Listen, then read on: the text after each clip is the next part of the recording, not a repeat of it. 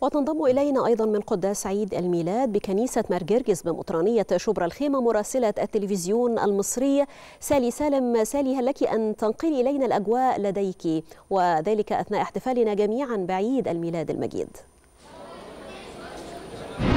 تحياتي لك ريهام. كل عام وأنت بخير وكل الشعب المصري بألف خير. من هنا ترسل رسائل المحبة. كل عام ومصر تحتضن الصلوات والاحتفالات وترسل هذه الرسائل إلى العالم أجمع. نحن نتابع معكم من داخل كنيسة الشهيد ماري جرجس بشبرا الخيمة بمحافظة القليوبية. تفاصيل هذا القداس ومراسم الصلاة لعيد الميلاد المجيد لعام 2023 هذه المراسم التي بدأت في تمام الثامنة بدقات أجراس هذه الكنيسة كمختلف الكنائس التي تحتفل في هذه الليلة تحديدا ليلة السادس من يناير وفقا للتقويم الشرقي. وكنا قد تابعنا في وقت سابق احتفالات الكنائس وفقا للتقويم الغربي في الخامس والعشرين من ديسمبر الماضي. بدأت الصلوات في تمام الثامنة بدقات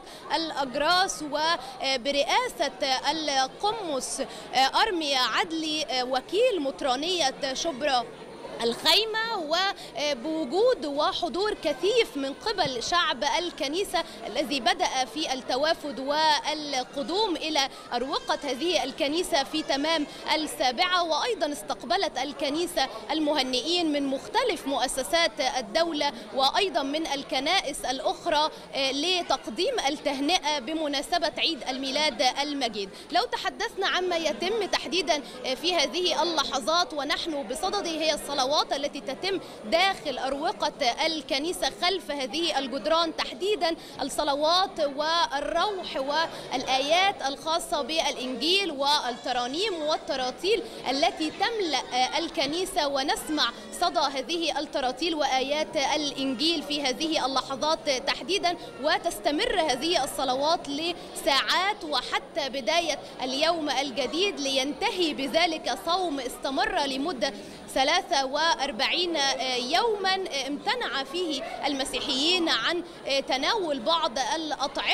واليوم بانتهاء هذه الصلوات يبدأ عشاء عيد الميلاد المجيد تقريبا في الثانية عشر من مساء هذا اليوم. لو تحدثنا عن الأجواء الاحتفالية فكانت هذه الكنيسة قد تزينت في وقت سابق بالأضواء والشموع بشجرة عيد الميلاد. وهي من أهم مظاهر الاحتفال والتي يملأها الألوان والهدايا وتحديدا اللون الأزرق اللون الأحمر واللون الأخضر وهم معبرين عن الحياة الأبدية وعن السيد المسيح وذلك وفقا للعقيدة المسيحية. وأيضا تزينت بتماثيل السيدة العذراء ويوسف النجار وأيضا المسيح وهو رضيع وهي أيضا من أهم مظاهر الاحتفالات داخل الكنيسة. لو تحدثنا عن ما يحدث الآن في أجواء احتفالية وجود كامل لكافة الأسر وشعب الكنيسة وصلوات تتم داخل الجدران وزينة وأجواء احتفالية تملأ هذه الكنيسة كنيسة